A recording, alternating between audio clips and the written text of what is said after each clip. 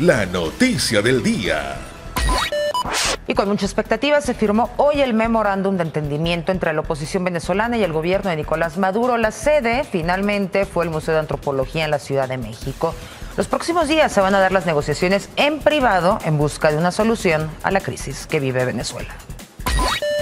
Hola, ¿qué tal a todos mis amigos? Un día más saludándolos y trayéndoles, como siempre, los acontecimientos, los sucesos más importantes de las últimas noticias de Venezuela hoy. Vamos con información de último momento, presten mucha atención a todo esto porque el régimen de Nicolás Maduro y la oposición venezolana se reúnen hoy a dialogar en el país mexicano. La Cancillería mexicana había indicado que este viernes por la tarde se dará la inauguración del proceso de negociación y diálogo de Venezuela, propuesto por el presidente interino de Venezuela, Juan Guaidó, el pasado mes de mayo. El régimen de Nicolás Maduro y la oposición venezolana comenzarán este viernes las negociaciones en el país mexicano con el fin de buscar una salida conjunta a la crisis que padece el país caribeño, según habría confirmado este jueves la Cancillería mexicana. En un comunicado, la Secretaría de Relaciones Exteriores de México habría indicado que este viernes por la tarde se dará la inauguración del proceso de negociación y diálogo del país venezolano. También habría explicado que a solicitud de las partes involucradas se aseguran estrictos protocolos de seguridad y sanidad entre los representantes de los medios de comunicación que asistan al diálogo debido a la pandemia. Además, también recordó, para el ingreso al lugar de la reunión será obligatorio portar equipo de protección personal, cubrebocas.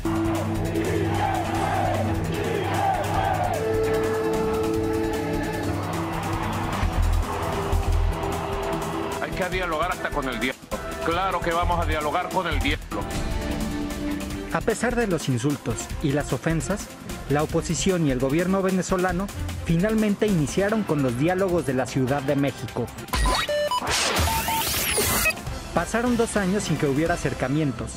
Hoy, el anfitrión, el canciller Marcelo Ebrard, dijo que México será respetuoso y solidario, dejando claras las expectativas del momento decirles que toda la comunidad de América Latina, el Caribe y del mundo entero tienen los ojos y los mejores deseos puestos en ustedes. El pasado 5 de agosto, el presidente mexicano Andrés Manuel López Obrador habría anunciado que el país albergaría las negociaciones entre el régimen de Nicolás Maduro y la oposición venezolana para la crisis que se vive en ese país. Este jueves, el canciller mexicano Marcelo Ebrard también indicó en un breve mensaje que las partes que participarán en el diálogo sobre Venezuela estaban en fase final de sus pláticas exploratorias para iniciar así un diálogo.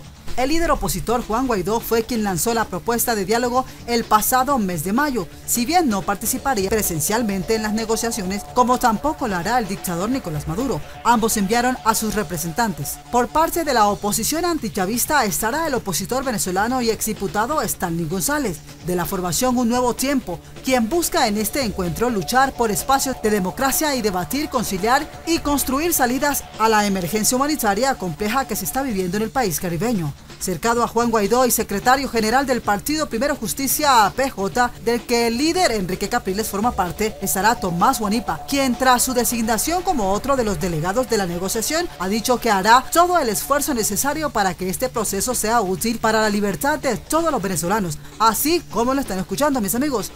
Las mesas de negociación serán privadas, pero se hizo oficial el listado de puntos que abordarán.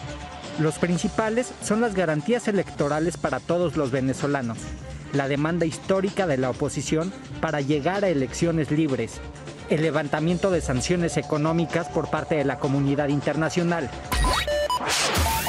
una urgencia para el gobierno de Nicolás Maduro y el punto más importante, garantizar la implementación, el seguimiento y verificación de lo que acuerden. Después de firmar este memorando, que será la guía durante los próximos días, los representantes de la oposición y del gobierno venezolano coincidieron en lo difícil que fue llegar a este punto, pero también en la urgencia de alcanzar soluciones para poner fin a la crisis venezolana. Por parte del régimen de Nicolás Maduro acudirán Jorge Rodríguez, presidente del Parlamento chavista y jefe de delegados, y Héctor Rodríguez, gobernador del Centro Estado Miranda. Este jueves el dictador venezolano Nicolás Maduro habría informado que su hijo, el diputado Nicolás Maduro Guerra, también formará parte de la delegación del régimen que irá a México para dialogar con la oposición. Nicolás Ernesto forma parte de la comisión de diálogo que va para México, encabezada por el doctor Jorge Rodríguez. Van para México al diálogo con la oposición extremista de derecha gobernada desde el país estadounidense. Había indicado el dictador en una locución transmitida por el canal estatal BTV. Hoy estamos comenzando la segunda etapa de un proceso de negociación que sabemos será complejo, que seguramente tendrá momentos muy difíciles, para el cual todo nuestro equipo se ha venido preparando.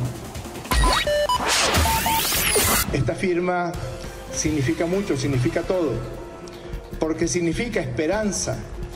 Cuidemos esa esperanza. Cada parte ha tenido que ceder parte de su narrativa para lograr un punto medio de inicio Continuamos con más del desarrollo de la noticia previo al diálogo que según la televisión pública venezolana VTV se alargaría hasta el lunes 16 de agosto. El sector opositor de Venezuela expresó su deseo de elecciones libres y justas el próximo 21 de noviembre, cuando los venezolanos están llamados a las urnas para elegir a los próximos alcaldes, gobernadores de los estados y diputados locales y regionales, mis amigos. Nuestra Venezuela está mal, está muy mal nuestro pueblo sufre la peor crisis de su historia contemporánea. El proceso es más que necesario. El trabajo ahora es buscar en dónde encontramos puntos de confluencia para garantizar el porvenir y la felicidad del pueblo de Venezuela. Tratemos de entendernos y alcancemos a acordarnos por los que estamos vivos y por los que ya no están con nosotros. Trabajemos Trabajemos arduamente y que nada nos haga retroceder. Que la paz sea nuestro norte.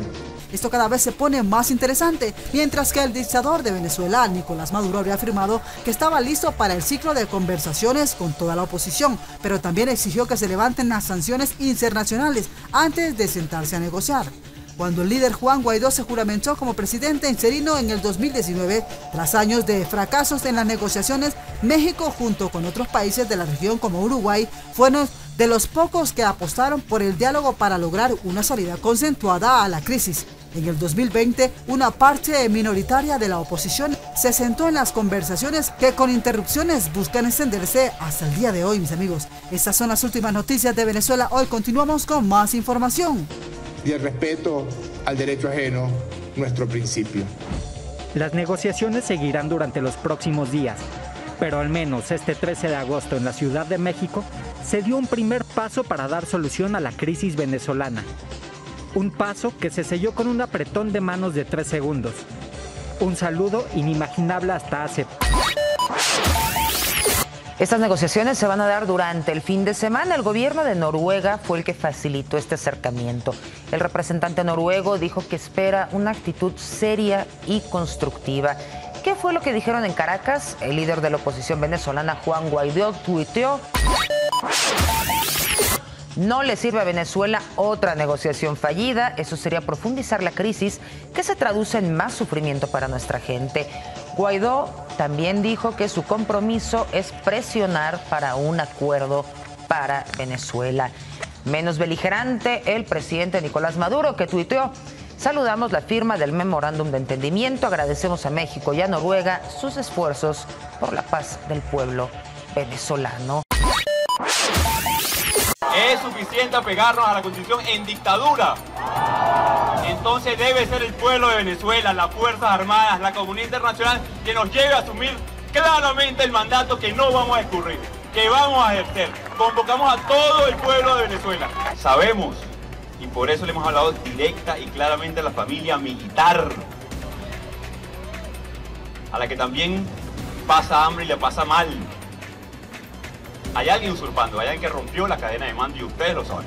La mejor información del momento y arrancamos con noticias de Venezuela hoy. Una operación quirúrgica moderna del siglo XXI para derrocar al presidente venezolano Nicolás Maduro es lo que propuso María Corina Machado en una entrevista cuando se le preguntó si una intervención extranjera seguía siendo parte de la estrategia opositora. Más claro también para la comunidad internacional la naturaleza del régimen que enfrentamos. Esto no es una dictadura, esto no es un problema de militares venezolanos corruptos, esto es un tema de mafias. Obviamente no van a ceder si no existe una amenaza real, creíble, una amenaza severa y una amenaza inminente.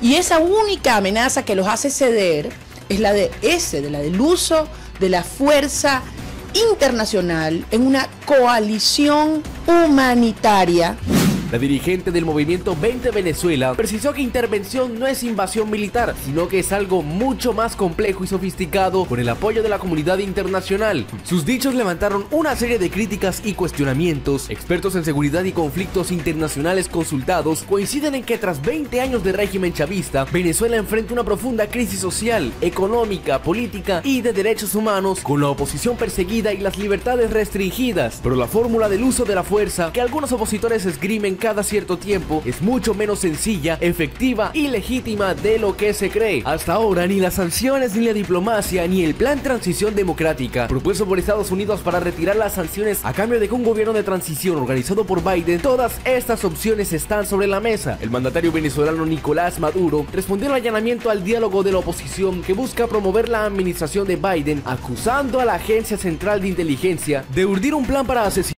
junto a otros jerarcas del régimen chavista. Maduro no implicó directamente al presidente estadounidense, pero así lo insinuó al preguntarse si este estaría al corriente de la existencia de un complot. El sucesor de Hugo Chávez afirmó también en unas declaraciones realizadas y sin presentar pruebas que fuentes de inteligencia bolivariana han reportado a su despacho otra operación para acabar con su vida coordinada por el Comando Sur.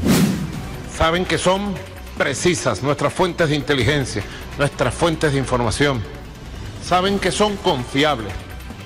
Porque hay mucha gente en Estados Unidos, hay mucha gente en Colombia, en las instituciones colombianas, y hay mucha gente en Brasil que no quiere violencia contra Venezuela, que están cansados de tanta campaña contra Venezuela y que no quieren sangre, violencia, terrorismo. Y han sido capaces siempre de ayudarnos en todas las circunstancias, en todos los momentos. Así ha reaccionado Maduro al cambio de posición de Washington ante la profunda crisis de Venezuela. El gobierno de Biden ha dejado precisamente atrás el belicismo de la era Trump para alinearse a la Unión Europea y ha abierto la puerta a levantar las sanciones económicas contra el régimen si demuestra voluntad de diálogo y está dispuesto a convocar elecciones libres. Bueno, bueno, mis amigos, y hasta aquí llegamos con las últimas noticias de Venezuela hoy. Como siempre, los invito para que se suscriban al canal, compartan el video con sus amigos en las redes sociales, activen la campanita de notificación y des like, dejes todos tus comentarios de lo que piensas de la noticia. Gracias y chao, chao.